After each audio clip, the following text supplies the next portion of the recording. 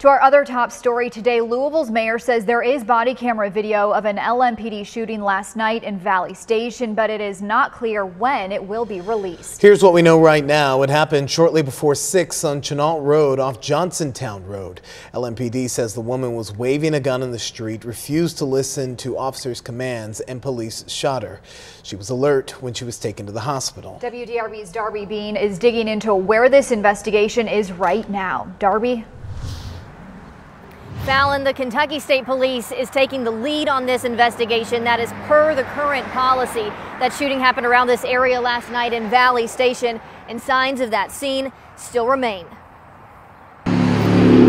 Flashing lights filled a street Sunday night in this Valley Station neighborhood after reports of a woman with a gun. My understanding is that several neighbors called 911. They indicated the suspect was waving a gun. She began to advance towards the officers continuously as they continued to ask her to drop the weapon. They fired upon her.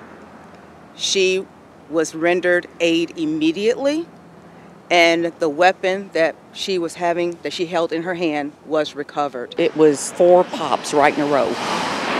Now, Kentucky State Police will take the lead on this investigation. That's per the current policy. In mid 2020, then Mayor Greg Fisher made an announcement saying the Louisville Metro Police Department should no longer investigate itself after officer involved shootings where someone is hurt or killed. We will contact the Kentucky State Police to do an independent investigation. Our reports show since 2021, KSP has led the investigation on at least six of these shootings involving LMPD. So that was the policy that was followed last night and is currently being followed.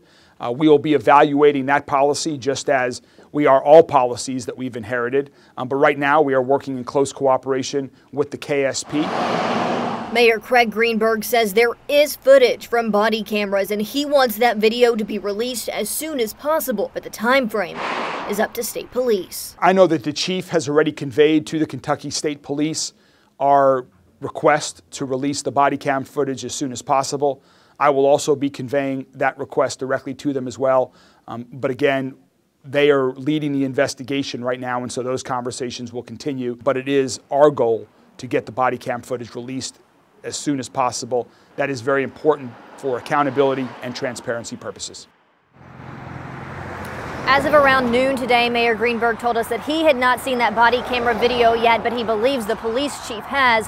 Last night here at the scene, the chief told crews that it appeared that LMPD followed protocol in this situation. Reporting live with photojournalist Emily Evans, Darby Bean, WDRB News.